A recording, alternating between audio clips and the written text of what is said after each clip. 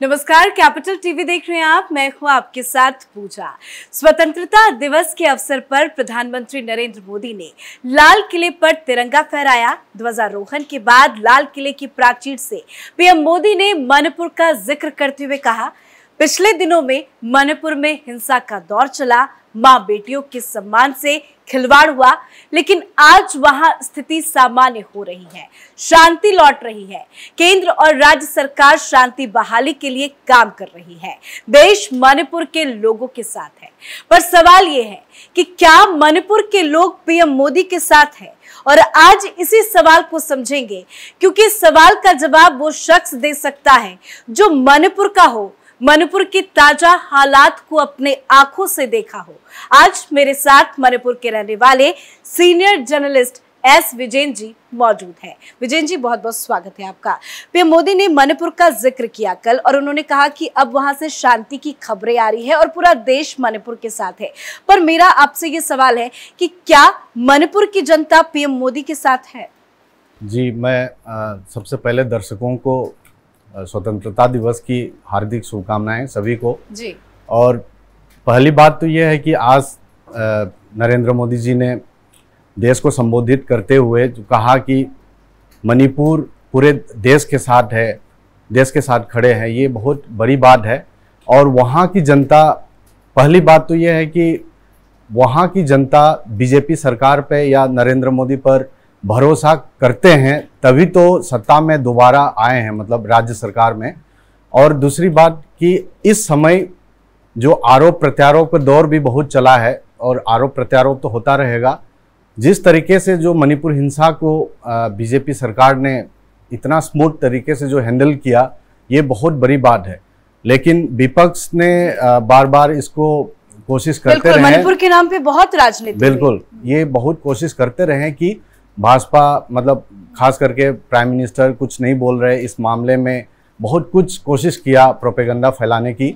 लेकिन मैं एक बात और जोड़ना चाहता हूँ कि विपक्ष ने कहा कि वहाँ पे आर्मी लगाते और एक दिन में वहाँ पे शांति ला सकते हैं। जी आज भी विपक्ष कांग्रेस पार्टी कह रही है कि सेना के हवाले मणिपुर को कर दिया जाए। जी ये कहने के लिए बहुत आसान लगता है और विपक्ष पार्टियों को ये याद रहना चाहिए कि इरोम शर्मिला, कम से कम 10 साल उन्होंने भूख हड़ताल किया था इस आर्मी मतलब मणिपुर में जो आर्मी लगाते हैं, अफसपाल एक्ट जो लगाते हैं, उसको हटवाने के लिए वो 10 साल भूख हड़ताल करती रही।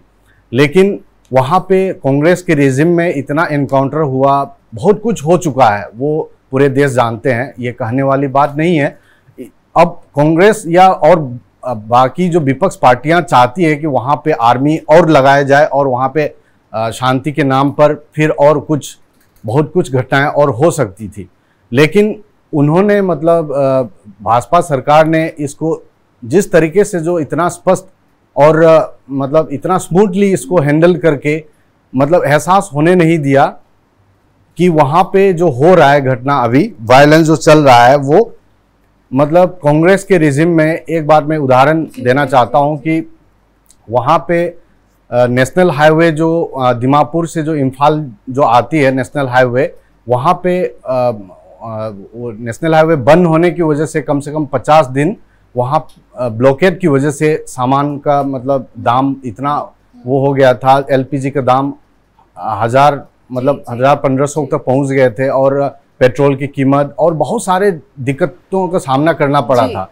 लेकिन इस समय क्या हुआ अभी जो वायलेंस के दौरान भाजपा सरकार की कोशिश की वजह से आ, मतलब सेंट्रल गवर्नमेंट की कोशिश की वजह से वहाँ पे जो खोंगसांग नाम का एक आ, मतलब रेलवे स्टेशन है जो वो आ, अंतिम रेलवे स्टेशन है अभी फ़िलहाल। मतलब तमेंगलोंग डिस्ट्रिक्ट में वो स्थित है ये स्टेशन वहाँ तक रेलवे का लाइन अभी पहुँच चुका है तो वहाँ पे दस बोगी का रेलवे बहुत सारे सामान खाने पीने का सामान ले करके पहुँचाया है। क्योंकि वहाँ पे नेशनल हाईवे जो दिमापुर से जो नेशनल हाईवे जो आते हैं वो तो कुकियों ने उसको ब्लॉकेट करके रखा तो जाने नहीं दिया। सारे खाने पीने के सामान दाम बहुत आसमान छू रहे थे। लेकिन वो बीजेपी गवर्नमेंट ने वहाँ पे न तो वहाँ पे प्रचार किया न कुछ शोर शराबा किए बगैर रेलवे के थ्रू वहाँ पे खोंगछांग जो रेलवे स्टेशन है वहाँ तक खाने पीने का सामान पहुँचाया और जो अ, सामान की जो कीमत जो बहुत भाग रहे थे, उसको कंट्रोल करने की कोशिश किया। इस तरीके से और भी है जो वहाँ पे रिलीफ कैंप पे मान लेते हैं कि जितना जो विक्टिम्स लोग हैं, चाहे कुकी की तरफ़ से और चाहे मीते की तरफ़ से रिलीफ कैंप पे चाहे, मैंने तो बहुत सारी जगहों पे भी जा कर के देखा था। पिछले कुछ दिन पहले मैं जब गए थे मोयरांग और बिष्णुपुर से लेकर के इधर नीचे मतलब सुगनू और ये उस साइट में मैं जब गया था तो रिलीफ कैंप की स्थिति भी मैंने देखा कि बहुत लोगों को खुश है वहाँ पे रिलीफ कैंप पे रहते हुए कि उतना मतलब दिक्कतों का सामना नहीं कर नहीं करते हैं। ये है कि उनके मन में एक निश्चिंता की भावना तो ज़रूर रहती है कि उनके घर जल चुके हैं ये। लेकिन फिर भी वहाँ पे रिलीफ कैंप की व्यवस्था अच्छी है। सरकार उन विक्टिम्स लोगों को मतलब उनके जिसके घर परिवार जला क्या आप रिलीफ कैंप में गए थे? जी बिल्कुल गया था। और अभी हाल में वहाँ के जो बीजेपी सरकार ने जितना जो रिलीफ कैंप पे जो रह रहे हैं वो लोग स्कूल या कॉलेजों में जो लोग रहते हैं उनके लिए एक व्यवस्था और किए हैं कि वहाँ पे मकान बना रहे हैं। हम्म। और तो उस मकान पे उन लोग को फिर शिफ्ट करने की बात चल रही है बहुत जल्दी। अधिकतर मतलब बहुत सारे जी मकान विजय तो जी जिस चीज़ का आप ज़िक्र कर रहे हैं जो आप वहाँ की ग्राउंड रिपोर्ट बता रहे हैं सभी चीज़ों का ज़िक्र अमित शाह ने भी किया। अपने दो घंटे के लंबे भाषण में अमित शाह ने संसद में एक एक चीज़ों को बताया कि वहाँ की स्थिति क्या है और सरकार कितनी मदद कर रही है। क्या अमित शाह जो बातें कह रहे हैं उस बातों में सच्चाई है दम है? वाकई सरकार क्या मणिपुर में काम कर रही है?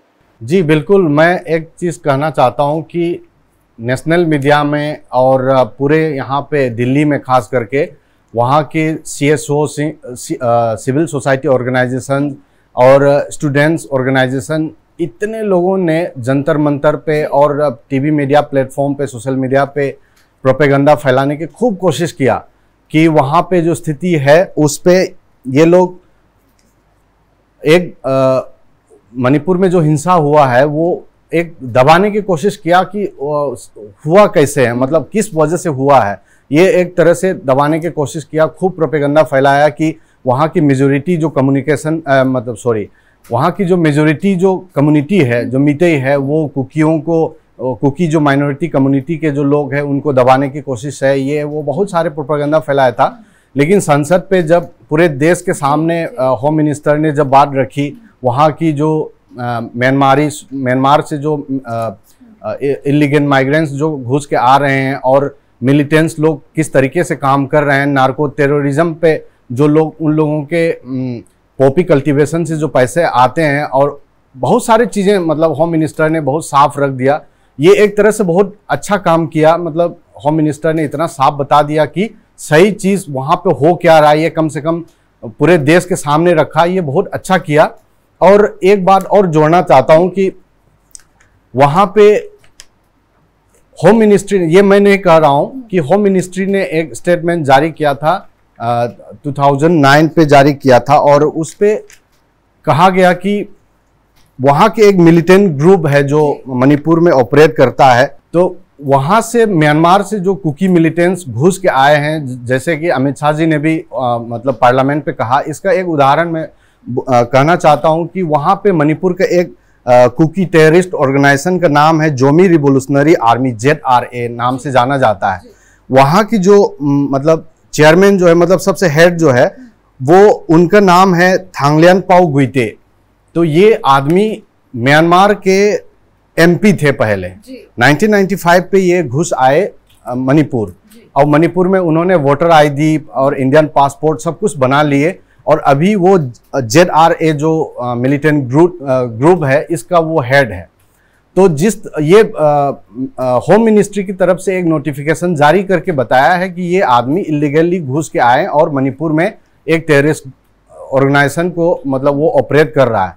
तो ये मैं नहीं कह रहा हूँ कि इस तरीके के सच्चाई जो है होम मिनिस्ट्री खुद मतलब सबके सामने दिखाया है। और मतलब आप ये कह रहे हैं कि होम मिनिस्ट्री ने जितना जो भी स्टेटमेंट जारी किया संसद में अमित शाह ने जितने लंबे चौड़े बयान दिए वहाँ की ग्राउंड रिपोर्ट जो बताई उस बात में पूरी की पूरी सच्चाई बिल्कुल है। बिल्कुल सच्चा है। और इससे वहाँ की जो मेन जो गुड है कुकी जो आईटीएलएफ बोलते हैं मतलब एक संगठन है कुकी जो ऑर्गेनाइजर है वो उसकी थ्रू जितने जो प्रोटेस्ट रैली करना है सब कुछ वो हैंडल कर रहा है फ़िलहाल। तो वो आईटीएलएफ के लोग इतने नाराज़ हुए होम मिनिस्ट्री के बाद पे और मणिपुर के जो कुकी एम एमएलएस है दस कुकी एम एमएलएस है वो इतना नाराज़ हुए। वो खुद मेमोरेंडम दे के, के प्राइम मिनिस्टर से कह रहे हैं कि होम मिनिस्ट्री ने जिस तरीके से जो संसद पे बात रखी इलीगल माइग्रेंट्स आए कुकी आए इसको स्पष्ट करना चाहिए। जो कुकी लोगों ने डिमांड भी किया था इसको स्पष्ट करें। तो हंड्रेड परसेंट ये बात सच्चाई है जो होम मतलब कुल मिला के पीएम मोदी के साथ मणिपुर की पूरी जनता है। मेरा आखिरी सवाल आपसे एक है। जिस तरह से मणिपुर से एक वीडियो आया उस वीडियो को लेकर जमकर राजनीति हुई पर उस वीडियो के अलावा भी बहुत कुछ सच्चाई है जो जनता तक नहीं पहुँची है। क्या जानबूझ के एक समुदाय को बदनाम करने की विपक्ष ने कोशिश की है? बिल्कुल विपक्ष ने तो बहुत कोशिश किया लेकिन वो सफल होने नहीं दिया मतलब पार्लियामेंट पे जो होम मिनिस्टर ने जो इतना स्पष्ट बताने के बाद और भी एक और इस पे बात जोड़ना चाहता हूँ कि अभी जो हिंसा हो रहा है ये एक इस पे ड्रग का एंगल बहुत हम्म। बड़े पैमाने पर ड्रग का एंगल है जो मीडिया में और भी बहुत सारी बातें जो नरेशन चलती है कि नार्को टेररिज्म की बात चलती है ये बिल्कुल सच्चाई है वहाँ पे पॉपी कल्टीवेशन बहुत बड़े पैमाने पर होता है मणिपुर में हम्म। बर्मा और मणिपुर का जो बॉर्डर है 400 किलोमीटर जो लंबा है वो खुला छोड़ा हुआ है। जब से आज़ाद हुआ है देश तब से अभी तक मतलब वो कोई फेंसिंग नहीं हुआ है बॉर्डर खुला बॉर्डर है। तो अभी पिछले 2022 में बीजेपी की सरकार आने के बाद 10 किलोमीटर का फेंसिंग करना शुरू कर दिया। अभी 7 किलोमीटर और वो काम चल रहा है बाकी का सर्वे चल रहा है जैसे होम मिनिस्टर साहब ने भी संसद में बताया। लेकिन ये बहुत सच्चाई है और वहाँ पे जो पहाड़ काट काट करके कुकी लोग उस पर पॉपी कल्टिवेशन करते हैं और उसका मतलब उनके हर महीने का वो पैसा जाता है वहाँ के गाँव की मुखिया पर। उनको मतलब टैक्स के तौर पे देते हैं और पॉपी कल्टीवेशन से इन लोग के पास इतना पैसा आ गया कि वो सोफिस्टिकेट वेपन खरीद लेते हैं और एक बहुत बड़ा मतलब ताकत वो खड़ा कर दिया और वहाँ पे हमला अभी जो चल रहा है इस पर उसका इस्तेमाल भी कर रहा है। लेकिन मेन बात यह है कि नार्को टेररिस्ट की बात जो चलती है ये बिल्कुल सच्चाई है इस पर बहुत मतलब सीएम ने वहाँ की सीएम ने इसके विरोध में जो कोशिश किया आ, मतलब उन्होंने एक एक अभियान भी चलाया जी, था जी. कि आ, ये ड्रग के खिलाफ एक अभियान चलाया था और पोपी कल्टीवेशन के खिलाफ अभियान चलाया था ये सब चीज़ों से कुकियों के बीच में इतना नफरत मतलब मीतई कम्युनिटी के ऊपर या सीएम के ऊपर इतना नफरत पैदा हो गया कि वो आरोप लगाते रहे कि हमारे ऊपर टारगेट है। लेकिन जो काम अच्छा काम करता है या कांग्रेस के रेजिम में इतना जो गन गंदगी फैला कर रखा हुआ है वो सीएम बीरेन्द्र सिंह ने जब साफ़ करना शुरू किया तो लोग ऑब्वियसली मतलब कांग्रेस पार्टी ने मतई समुदाय के खिलाफ समर्थन जुटाने की कोशिश की बिल्कुल बिल्कुल कोशिश खूब किया है लेकिन अभी तो और भी बहुत सारी चीज़ें साफ़ होती जा रही है और आने वाले दिनों में और भी साफ़ होगा। चलिए एक मेरा आखिरी सवाल और है आपसे। आप मणिपुर से आते हैं आपने आँखों देखी हिंसा वहाँ पे देखी है। जिस तरह से पीएम मोदी ने कहा कि अब वहाँ से शांति की खबरें आ रही है क्या वाकई अब मणिपुर शांत हो रहा है? स्थिति बेहतर हो गई है? बिल्कुल पिछले एक एक सप्ताह से अधिक के समय से अभी तक हिंसा की खबर नहीं आ रही है। और ये बिल्कुल प्राइम मिनिस्टर नरेंद्र मोदी जी ने जो आज जो देश को जो बताया था बिल्कुल सही बात है। एक सप्ताह के करीब हो गया ज़्यादा उससे अभी तक हिंसा की खबर नहीं आ रही और माहौल धीरे धीरे मतलब कंट्रोल में आ रहा है और स्थिति शांति की तरफ़ बढ़ रहे हैं और इस पर सब लोग दोनों आ, मतलब पूरे देश को भी आ, समर्थन है और उन्होंने भी दिखाया कि मणिपुर के लिए हम पूरे देश खड़े हैं और वहाँ के लोगों को भी कोशिश करनी चाहिए कि शांति जल्द से जल्द आए सरकार तो कोशिश कर ही रही है। बहुत बहुत धन्यवाद समझाने के लिए। मतलब पीएम मोदी के साथ मणिपुर की जनता है। बहुत बहुत धन्यवाद विजयन जी। तो मणिपुर के नाम पर विपक्ष बस राजनीति कर रहा है। ये वाकई शर्म की बात है। मणिपुर में आखिर हिंसा क्यों हो रही है? कौन हिंसा भड़का रहा है? किसकी छवि खराब करने की कोशिश की जा रही है? इसे जानना बेहद ज़रूरी है। और सच्चाई ये है कि कांग्रेस पार्टी ने मेतई समुदाय को बदनाम किया। सिर्फ़ एक वीडियो के नाम पर राजनीति की कुकी समुदाय को लेकर समर्थन जुटाने की कोशिश कोशिश भी की, दोनों पक्षों की बात जनता के सामने नहीं आई है और मणिपुर के नाम पर सिर्फ़ और सिर्फ़ राजनीति की जा रही है। आप अपनी राय कॉमेंट करके ज़रूर लिखें। देखते रहिए कैपिटल टीवी नमस्कार।